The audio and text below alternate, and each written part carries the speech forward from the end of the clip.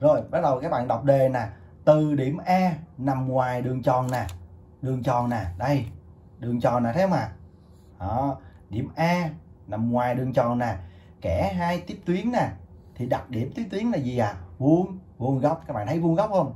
Và tính chất tiếp tuyến là hai cái đoạn AB này và bằng A AC được chưa và OB bằng OC đó là bằng bán bán kính ok chưa à sau đó từ A nè vẽ ờ, từ đường thẳng đi qua A cắt đường tròn nè đường thẳng đi qua A nè cắt đường tròn tại D và E nè D nằm giữa A và và E dây cung DE dây cung DE nè không đi qua tâm O là nó không nó đi nó không có thẳng hàng với này nha mọi người rồi lấy điểm H là trung điểm nè thấy không ạ à? H là trung điểm của đoạn D DE à.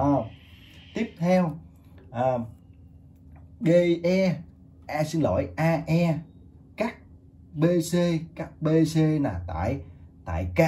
Chứng minh tứ giác. ABOC nội tiếp đường đường tròn. Câu này quá dễ. Thứ nhất, góc này là góc gì à? Vuông. Góc này là gì à? Vuông. Và hai góc này là có hiện tượng gì à?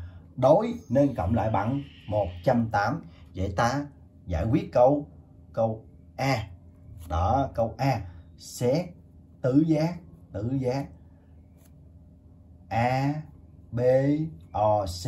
Ta ta có ta có nè, đó là gì à A, B, O. A, B, O bằng 90 độ. Lý do? A, B là tiếp tuyến tiếp tục, A, C, O. A, C, O bằng 90 độ. Lý do? A, C là tiếp tuyển, được chưa? Vậy từ đây suy ra điều gì à?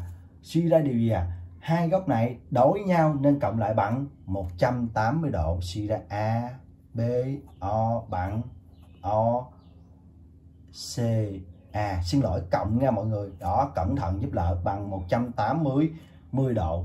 Suy ra tứ giác nó như thế nào à? Tứ giác nội tiếp đường A B O C nội tiếp đường đường tròn.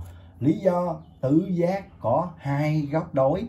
Bằng hai góc đối cộng lại bằng một 180 độ. Hoặc các bạn có thể ghi là tứ giác có hai đỉnh.